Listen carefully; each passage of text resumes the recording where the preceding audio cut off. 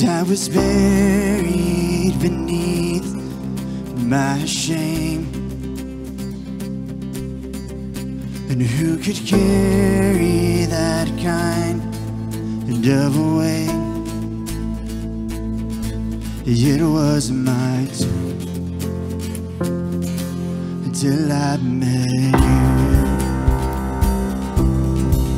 And I was breathing,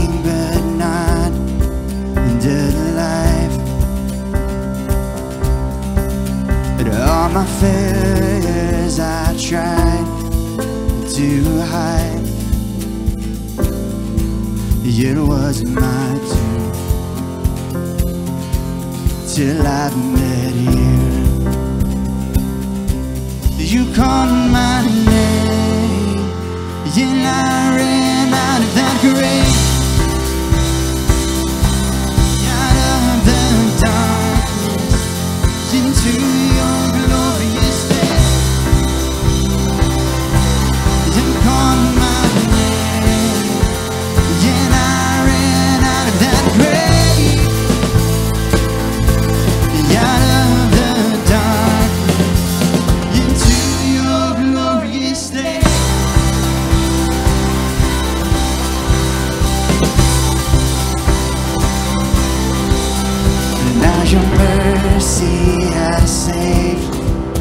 my soul.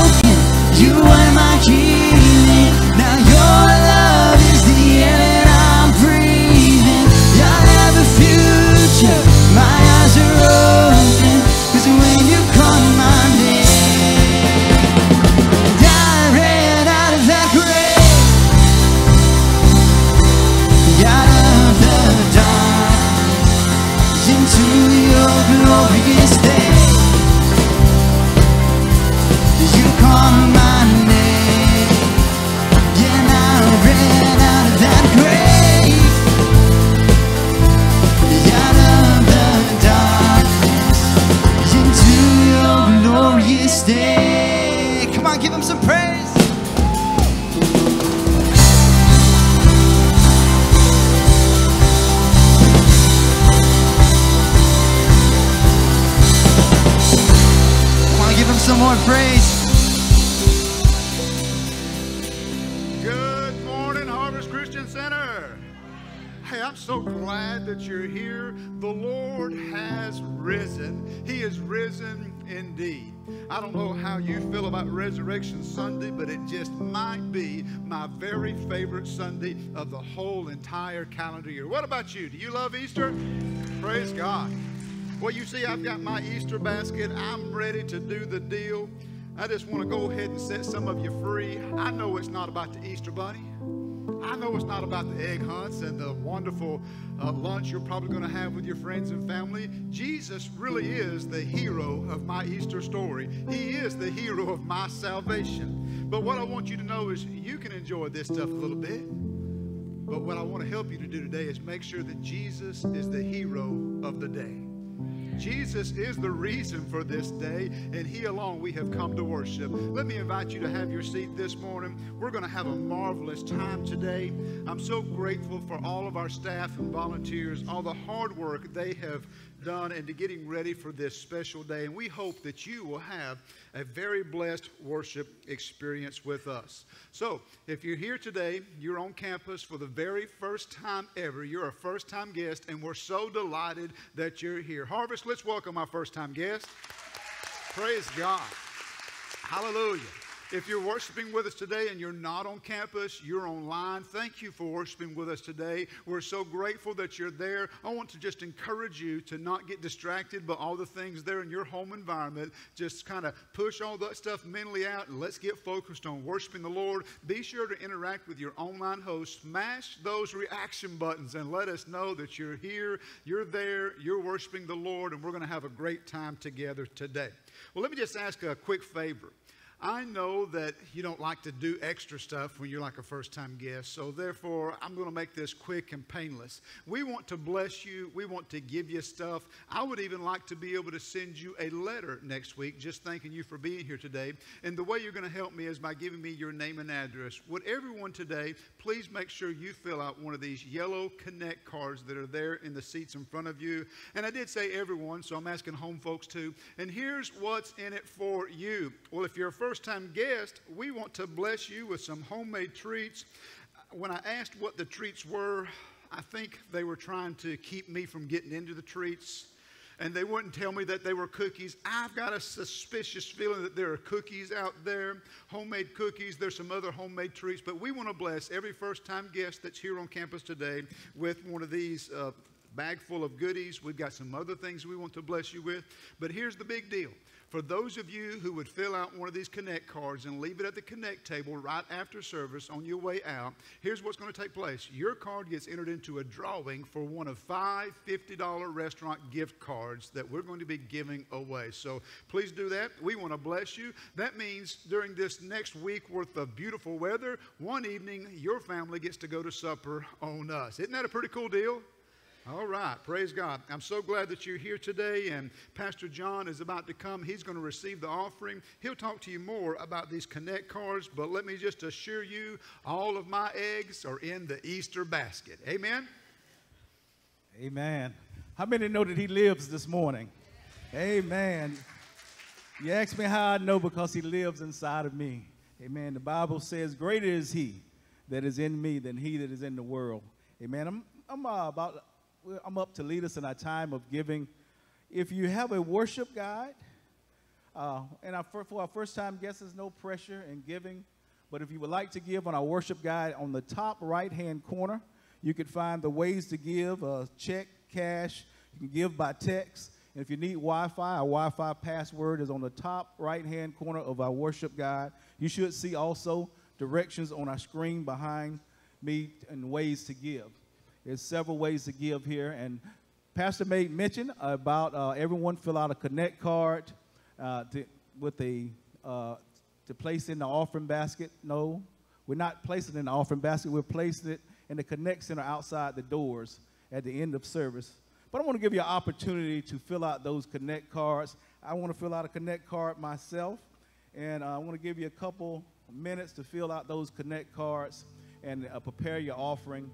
Can I get some music in the background? But I want to, everyone grab a connect card. It should be in the seat in front of you, should be a pen. And let's fill those out and, uh, and prepare our hearts to give.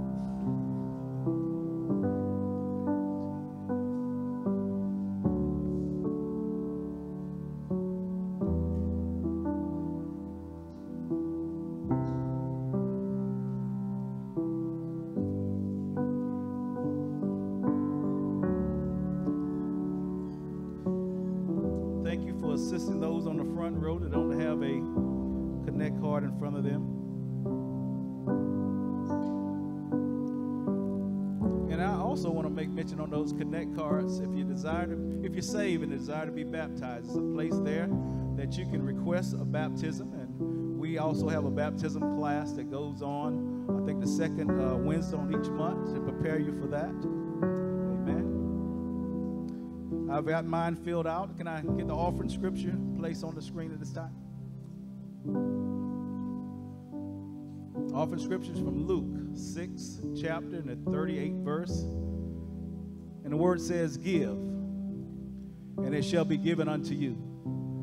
Good measure, pressed down, shaken together, and running over, will be put into your bosom. For with the same measure that you use, it shall be used back unto you again.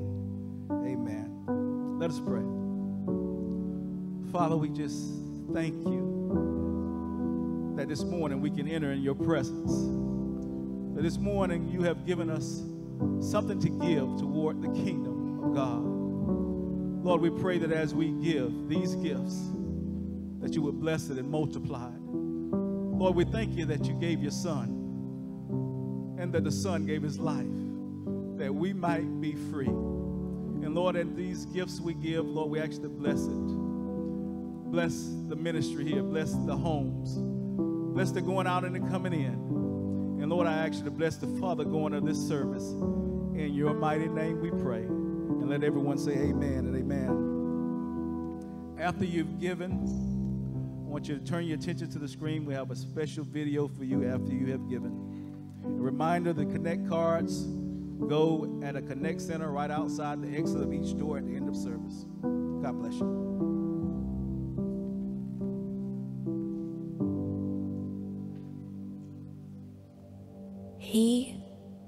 Is risen.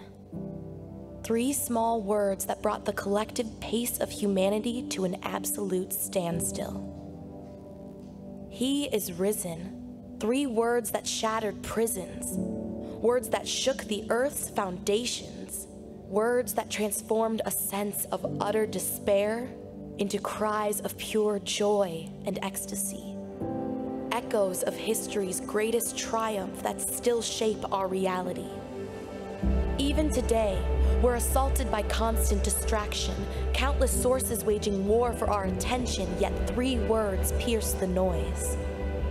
In our hunger for validation, our desperate pleas for love and attention, three words calm our anxieties. In a universe spinning at breakneck speed, its inhabitants locked in an existential crisis, three words proclaim the purpose of our existence He is risen. Lay hold of this truth and embrace the peace within. Yesterday, fear reigned in our hearts. Yesterday, we sat in crippling darkness.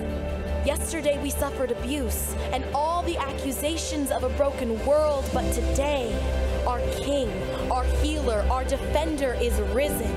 And this reality doesn't merely accompany us on a meaningless journey. This changes everything.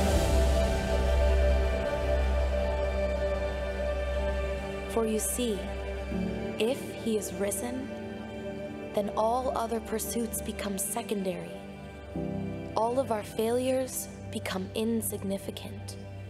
All criticisms and condemnations become irrelevant. There is only His word, His mission, and His infinite, unconditional love for you. Because He is risen, we look to tomorrow. Tomorrow, we will stop defining our worth through status and social media. Tomorrow we will together build an everlasting kingdom.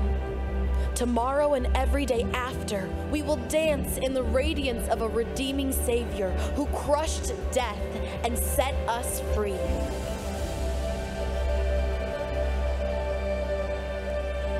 There is nothing that Jesus cannot overcome.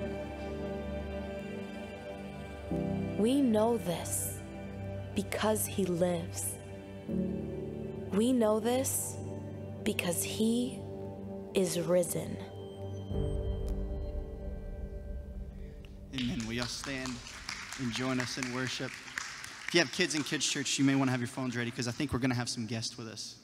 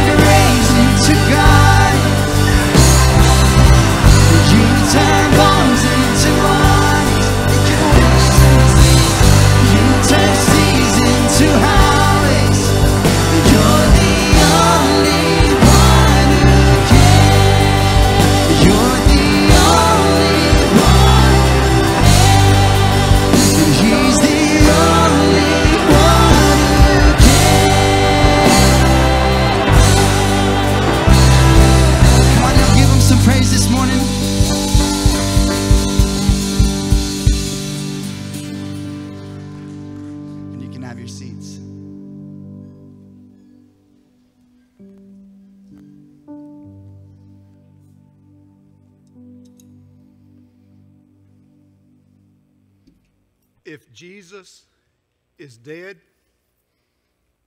nothing matters. If Jesus is alive, nothing else matters.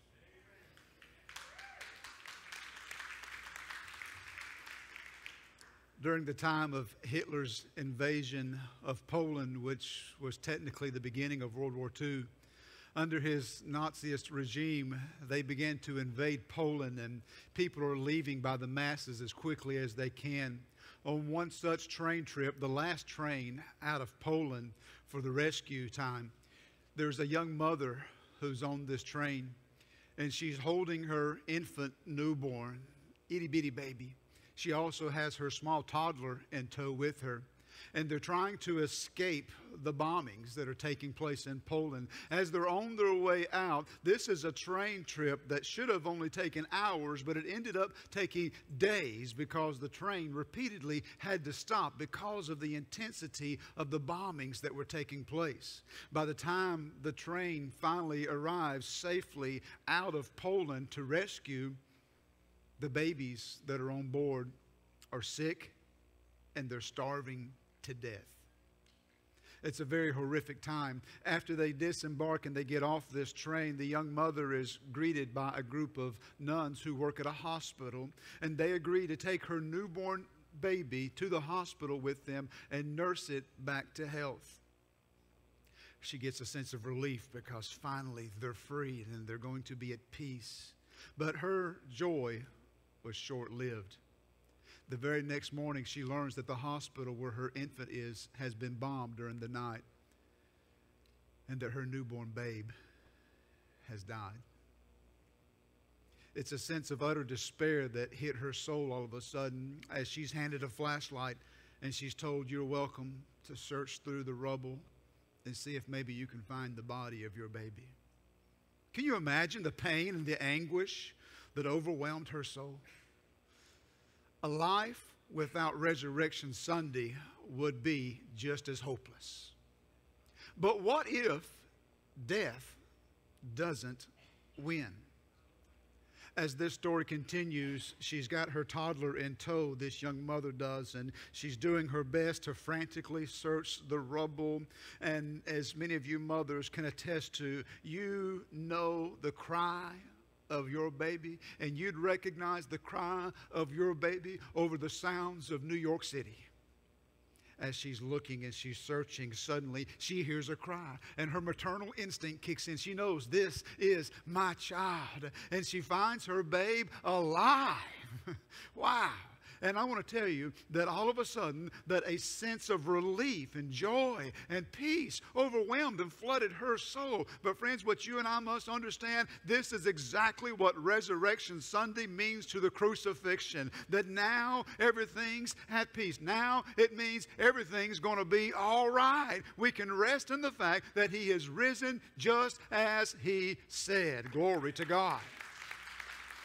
Today, as we think about what Easter means, Resurrection Sunday, I will tell you today is the day that changed everything. It changes the mood of hopelessness into understanding, you know what, don't matter what the situation looks like, my God's still on his throne, my Savior is resurrected from the grave, and everything's going to be all right.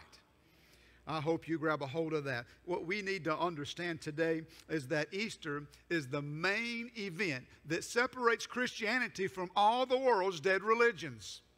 Easter Sunday is the day that makes you and I almost kind of like want to pull up our chest and stick it out a little bit and understand, you know what? We're on the winning side. I'm on the right side. My Savior lives. There's not another religion in this world that can claim a resurrected Savior. There are hundreds upon hundreds of religions in this world, but not one can boast of an empty tomb. You see, Christianity has this distinction. And if I were to be looking at a catalog of religions trying to decide what path I would go and what path I would encourage my children to pursue, I have to tell you, Christianity gives, pulls out all the stops. When you've got a living Savior, friend, that's the way you should go. You should give your life to Him and follow Him with all you have. Today, we find that the best news that ever hit this universe was the news that came out of Jerusalem, just outside of Jerusalem, near a cemetery where the first two individuals heard this news. He is not here, for he is risen. Let's go into Matthew's Gospel, chapter 28, and let's read about this blessed resurrection time. Matthew 28, verses 1 through 10. The Bible says, Now after the Sabbath, as the first day of the week began to dawn, Mary Magdalene and the other Mary came to see the tomb. And behold, there was a great earthquake. For an angel of the Lord descended from heaven and came and rolled back the stone from the door and sat on it. His countenance was like lightning, and his clothing as white as snow. And the guards shook for fear of him and became like dead men. But the angel answered and said to the women, Do not be afraid, for I know that you seek Jesus who was crucified. He is not here, for he is risen, as he said. Come, see the place where the Lord lay. And so and go quickly and tell his disciples that he is risen from the dead. And indeed, he is going before you into Galilee. There you will see him. Behold, I have told you. So they went out quickly from the tomb with fear and great joy and ran to bring his disciples word. And as they went to tell his disciples, behold, Jesus met them, saying, Rejoice! So they came and held him by the feet and worshiped him. Then Jesus said to them, Do not be afraid.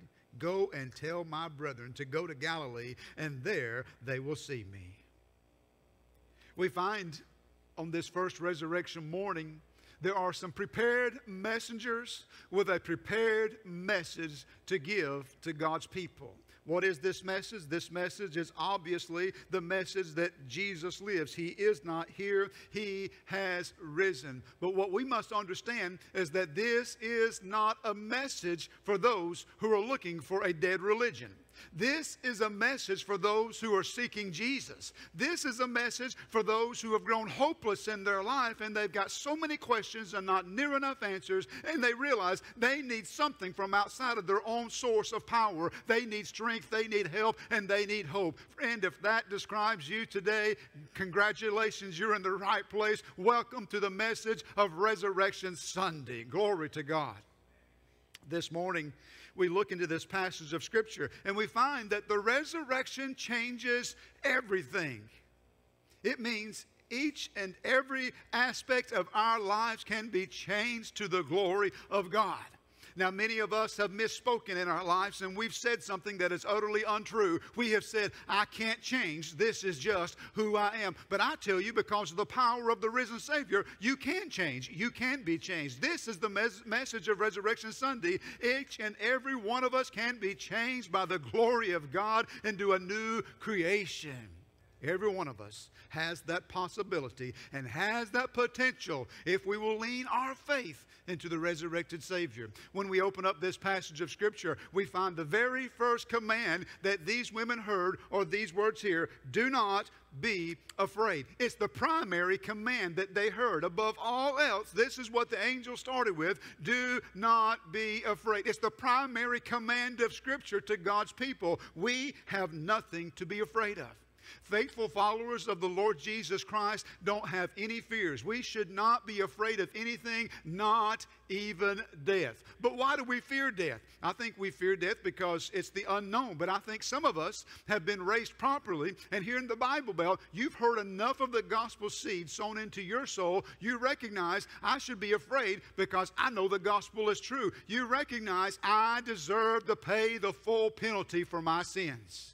You understand the wages of sin is death, and that means an eternal separation from God. But the good news is Jesus Himself bore our sins on the tree. Glory to God. The cross is so important. I think most years, most Christians skip right past Good Friday and they forget about the significant fact that Jesus went to a cross, friend, that he did not have to go to. He chose to do that for you and for me. The wages of sin is death. Death demanded a payment be paid for the sinfulness of humanity, and Jesus, the one who was without sin, went all the way. He was obedient unto the death, the death of the cross. You and I should pause and just praise Jesus for going to the cross this morning. Amen. Glory to his name. But the end of it is not at the cross. Each and every year when I celebrate the Resurrection Sunday, I want to tell you what I do. I pause and I praise Jesus that on Silent Saturday, the cross is empty. What He did, He did once and for all. He'll never have to go back to a rugged cross. He'll never have to go back to Skull Hill. He'll never have to have His blood spilled at Calvary once again because His blood was the all sufficient payment and sacrifice for all of our sins, for all of history, for all of humanity humanity. Glory to God. Hallelujah. So, what I want you to understand this morning, friend, that if you are in Christ, you're no longer under the powerful law of sin and death. When I review Romans chapter 6, 7, and 8, I sometimes just get lost in my praise to God because here's the Apostle Paul having this flashback of remembering what it was like to try to be a religious man and trying to use all the devoutness of his religion to draw close to God. But he come to a conclusion at the end of Romans chapter 7. He began to understand it's all futile. And you hear him making this statement Oh, who shall deliver me from this body of death? He recognized that there was a death that was impending his soul, a separation from God. So he declares, Who shall deliver me from this body of death? I thank God that it's through Jesus Christ my Lord. There is, therefore, now no condemnation to those who are in Christ Jesus. Why? Because the law of the Spirit of life in Christ Jesus has made me free from the law of sin and death. For what the law could not do in that it was weak, God did by sending his own Son in the likeness of sinful flesh. Glory to his name. Therefore, I proclaim to you today that if you are in Christ, you need not fear death. There is no power of sin that can hold you back once you've been forgiven of your sins and you've been changed by the glory of God. If you've been born again into the family of God, I tell you, my brother, and I tell you, my sister, you need not fear death. I read a story about a little girl who walked home every day from school, and on her walk home from school, the route took her through a small cemetery, such as the one behind us, and she had to cross right through the middle of that cemetery. Somebody asked her one day, Well, are you afraid when you cross that cemetery? She said, No, I just crossed through it on my way home. Can I tell you that's what the resurrection means to you and I? It means that death ain't no big deal. We're not going to be scared of death. We're not going to be held by death. But if we are in Christ because of the resurrection, we just crossed through death on our way home. Glory to his name. Christ resurrection means that he has neutralized him who had the power of death, the devil when John the Revelator gets a revelation of Jesus the Christ, he hears Jesus tell him, I am he that lives and was dead, and behold, I am alive forevermore. Amen. And I have the keys of hell and of death. I have to tell you this morning, if I'm trying to figure out what am I going to do with the rest of my life, I tell you that's the one I want to serve. The one that has the keys of hell and of death. The one that's already conquered death, that's already neutralized the power of Satan. I can't fight death. I can't win this battle on my own. No, because of what Jesus done, he has neutralized the power of death that the devil had, and death cannot hold us if we are in Christ. So therefore we can proclaim like we find the scripture do at the end of 1 Corinthians chapter 15. Oh death, where is your sting? Oh grave, where is your victory? Thanks be to God who gives us the victory through our Lord Jesus Christ. If you've got that victory this morning, let me hear you say amen. Praise God. These church mothers left the empty tomb, the Bible declares, with great joy. That means they had the assurance that everything's going to be all right. So, what this means is that Easter Sunday is the day that changed the world. But let me help you to understand something. Easter Sunday, the message of Easter isn't that death doesn't exist. We do not deny the existence of death. I mean, we all gonna die. Ain't none of us getting out of here alive. Did you look in the mirror this morning? That body of flesh must die. It will die one day. But if you're in Christ, the Bible declares we shall be changed. in the moment, in the twinkling of an eye, when we are resurrected to be together forever with the Lord, the Bible declares that there will be a great getting up morning and we shall be changed just like our glorious Savior was changed. And so we find these church mothers left the empty tomb with great joy. And the message of Easter had changed their life from that very moment. And now they had a commission to go and tell others. But again, may I tell you, I'm not trying to tell you that you or your loved ones won't die. Eventually, you will die. But the message of Resurrection Sunday means that these words are forever stamped upon the doorpost of your soul. He lives. He lives. So that means, regardless of whatever storms you go through throughout the remainder of your life, if you're in Christ, you have these words stamped upon the doorpost of your soul He lives. And if He lives, that means I'm going to live. That means death can't hold me. Death may try to oppress me, death may try to affect me, death may try to bring me down, but death can't hold me and it can't keep me because I am in Christ and He lives. Glory to His name. Hallelujah. The message of Resurrection Sunday is the great nevertheless that affects all of history. It means, regardless of what happens, God is still in control. The resurrection is true, the tomb is empty, and Jesus is the King of kings and Lord of lords. Somebody give him praise this morning. There's a great nevertheless I find in Scripture that always kind of convicts and encourages my soul at the same time. 2 Timothy chapter 2, verse 19, the Bible says, Nevertheless, the foundation of God stands sure. Having this seal, the Lord knows those who are his. But let everyone who names the name of Christ depart from iniquity. Could I just tell you, ain't none of us fooling nobody? God knows. God knows exactly who we are and where we are. God knows if we're His. God knows if we're floundering in our faith. God knows if we've just been playing religion. And He actually desires a close, intimate relationship with every one of us. Look around just a moment. Don't point fingers or nothing, okay? That ain't nice. That's rude. Look around just a moment. You've never seen a person in your life that God doesn't desire to have an intimate, personal relationship with.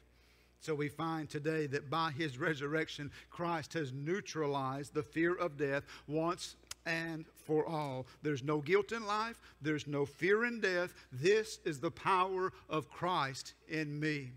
But then we find the angel gave these words to the women. He said and invited them, Come, see the place where he lay. So Christ's resurrection must be personally experienced. These women were invited to come and see for themselves. It's not you can just trust what I'm telling you. God says you don't have to just trust what I'm telling you. Come and see the tomb is empty. And when they walked into that tomb and, and went down, they did not see a body. They saw that the tomb was empty. All they saw was his grave clothes folded up nice and neat, white, all laying there, which indicated, you know what? I'm done. I'm done with this space that I was in. I just borrowed it for a little while. So we find that their faith must be personalized, and our faith must be personalized. When they went and told the first two disciples, Peter and John, their report was not good enough, my friend. They had to go and see for themselves. And I tell you, by eyes of faith, you must see that the tomb is empty by yourself. You've got to go for yourself. You cannot trust the report of this preacher or any other witness by eyes of faith. You must accept, you must go, you must see the place where he lay, and realize that we have an empty tomb to prove our Savior lives. What does that mean then? That means that you and I can be changed by the same Spirit that raised him up from the dead. A personal experience with God will change your life forever. There's a reason why I preach this gospel because I believe people can change by the grace of God. Anybody here need the grace of God? Can I just make that confession to you today? I need His grace. I'm dependent upon His grace. I'm not yet exactly what I think I should be or what God wants me to be, but thank God I've been changed by the power of grace. Glory to His name. And the Bible gives this promise to all of us. It says, If anyone is in Christ, he is a new creation. All things have passed away. Behold, all things have become new. Would you please simply hear what the Spirit of God is saying to you today? I speak with all the compassion that a pastor can bring when he brings a prophetic word. But may I just indicate that some of us in this room have been playing with religion. We've played too loose and too fast with our relationship with God. Please understand, I'm excited for you today because today you can drop the play. You can stop pretending and you can become the devout follower of Jesus Christ that He's called you to be. Some of you here today, though, are hearing truths of the gospel for the very first time in your life. And I'm so excited for you because today you get to choose for yourself that Jesus wants to have a relationship with me. He wants to forgive me of my sins. I'm going to take him up on the best offer I've ever heard. I'm going to exchange my sinful life for his pure resurrection life. Please hear the word of the Lord to you today. He says, Come unto me, all you that labor and are heavy burdened, and I will give you rest. Friend, if you're living in willful sin in your life, there is a double burden of sin in your life. You're laboring and you're heavy burdened. You know you're doing wrong, and you know that weightiness rests upon your soul. But Jesus says, If you'll come to me, I will give you rest. Some of us have made up our mind that living as a Christian is too hard and I can't do it. Friend, nothing could be farther from the truth. Everything that you give up in exchange for following Christ makes your soul so much lighter and the way becomes so much easier. Listen to what Jesus says. He says, Take my yoke upon you and learn from me, for I am gentle and lowly in heart, and you will find rest for your souls. So, therefore, we find today the power of death has been neutralized, and your faith can be personalized. However, before I leave this morning's sermon, I have to tell you there's a relevant message in this text for today's Christ followers. The Marys were told this go quickly and tell his disciples that he is risen from the dead. And as they quickly run away from the tomb, they run into Jesus. Do you realize what joy must have filled their souls in that moment? Okay, if we had any doubts after we saw that the tomb was empty, now we see the resurrected Christ for ourselves. But then Jesus essentially gives them that same commission, this same message to go and tell. He tells them, Do not be afraid, go and tell. I tell you today that if you claim to be a Christ follower, if you claim to have been affected by the power of the resurrection, you have this same responsibility to go and tell. That is, let me just put it to you this way if you know that your Savior rose from the dead for you, why wouldn't you want to tell somebody? You know, we're, we're so spoiled on this side of grace. We, we look back and we just accept this common truth. But I got to tell you, these first century disciples knew that they served a risen Savior and they were so excited about it, so filled with joy, they could not wait to tell others. They were mobilized by the only message that has the power to save. So, therefore, if you know your risen Savior has conquered death, hell, and the grave, you don't fear what other people think about you. You're just going to go and tell somebody. I love the way the scripture tells me in 2 Corinthians chapter 5 for the love of Christ compels us. Why is this? We know that He died for all, and that those who live should no longer live for themselves, but for Him who died for them and rose again. Today, it's been my privilege to tell you the first Resurrection Sunday is the day that changed everything. The power of this day means every peep can be changed from a spectator to a follower of Jesus Christ. Today, I would just advocate that you forget trying to get everything straightened out in your life. Oh, when I get this taken care of and when this week's worked out, that's when I'm going to get in church and really. No, friend, come as you are. Because the fact is, every time you get one thing straightened out, you're going to see there's another thing you need to get straightened out, and then another thing. And you can't straighten out and fix all your problems by yourself. How do I know? I've been watching people for, for many years now, and nobody's ever able to get it all straightened out on their own. They need the help of God. That's the only way any of us can be changed to begin to follow Him. I tell you, against all odds, against the grain, love finds a way and you can be changed just like I was. That's an old country song that I just quoted from Montgomery Gentry. Some people change. Some of you like country music. I'm just kind of a guy that likes a little bit of music across all genres. Doesn't really matter. If the music is positive and if it inspires me, I'll take the inspiration and keep serving God. I said that just to help some of you because you couldn't believe that a pastor actually appreciates a country music song. But in that country music song, it tells the story about individuals who had lived a willfully sinful life till the grace of God got in the way. And then they were changed by the power of God unto salvation. Would you stand with me all over this congregation?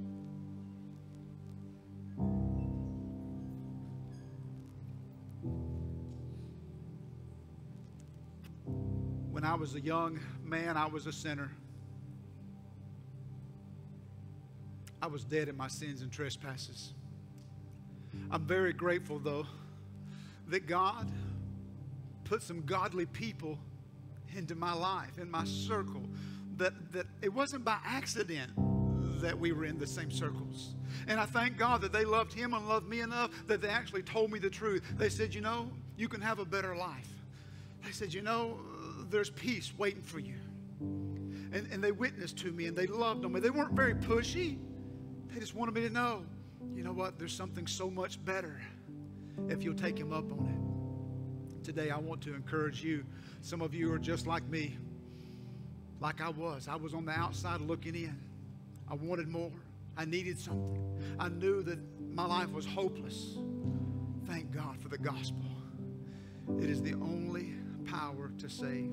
This last week in preparation, I read about an African Muslim who had become a Christian.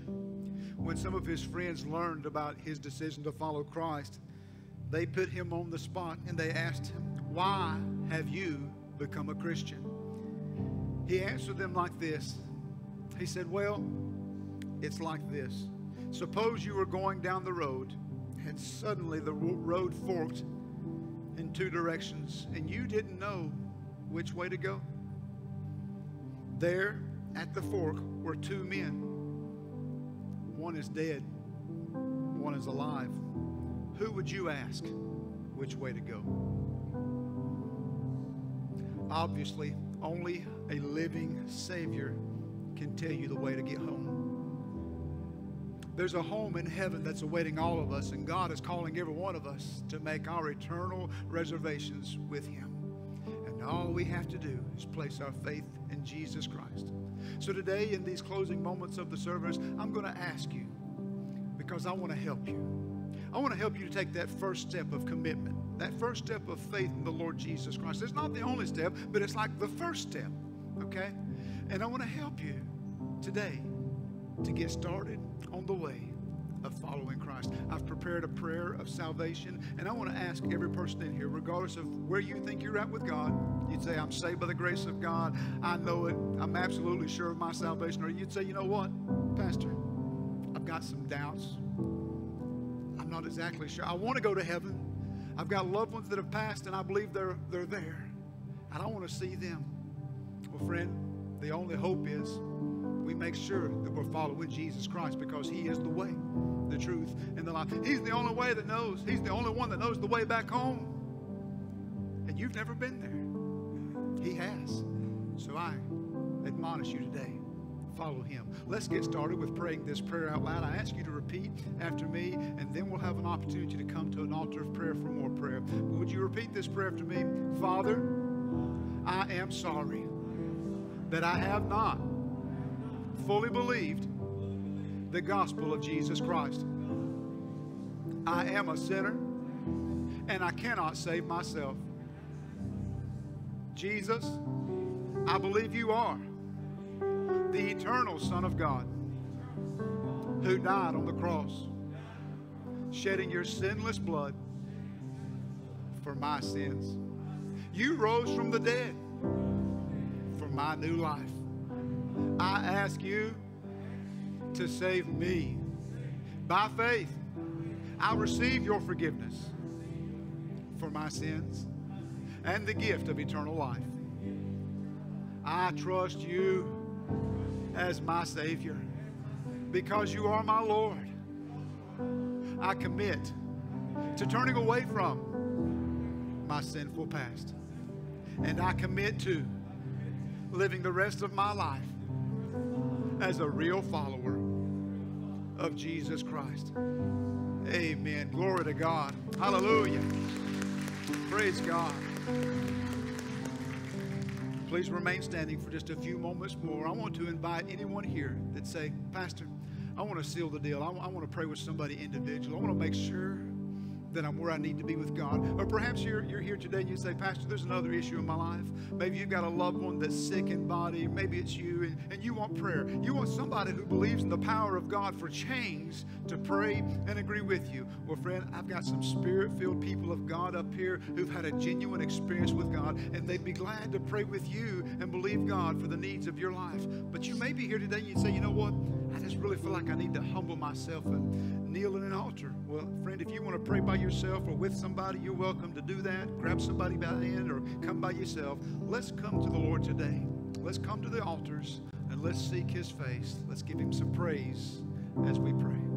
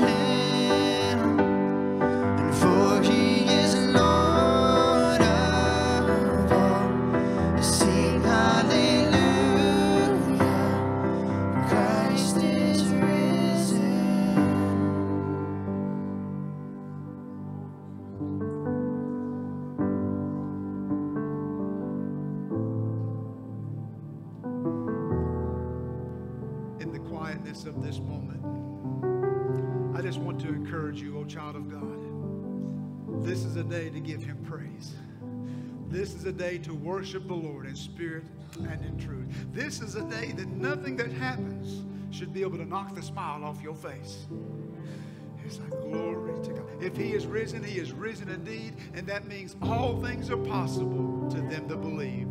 Can I take just these next 90 seconds to two minutes and just ask you, friend, don't delay.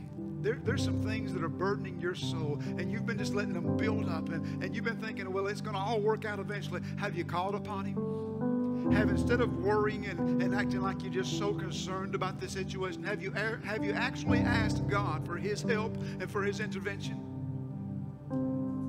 Now, I'm just not speaking prophetically here, but I'm absolutely certain that in a congregation of this size, there's somebody who could use a miracle in your life.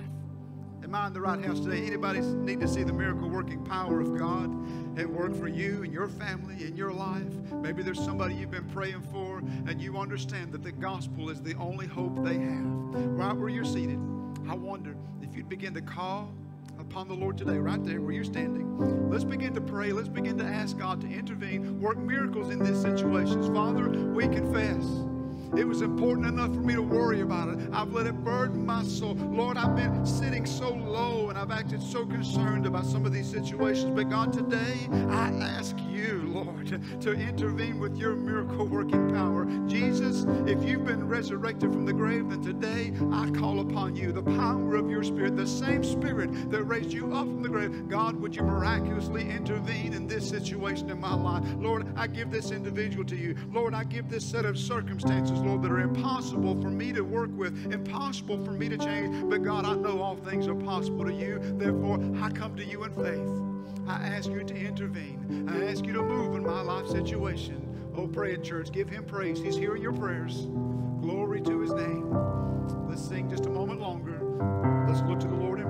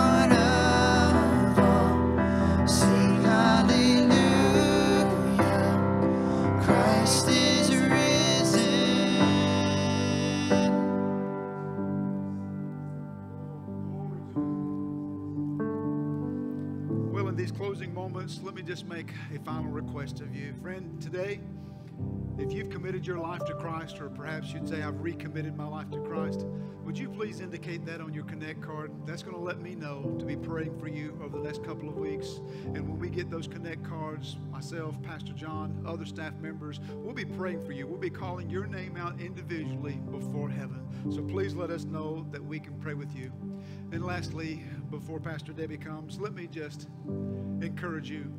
If you don't have a church home, this is like, you know, the first time or the second time you've been here in a long time, let me encourage you to please understand this. We want this to be your every Sunday home. We love you. We appreciate you for being here today. But now that you're here, you're not leaving as a guest, you're not leaving as a stranger, you're leaving as family. And family meets here every Sunday. Pastor Debbie. Praise God.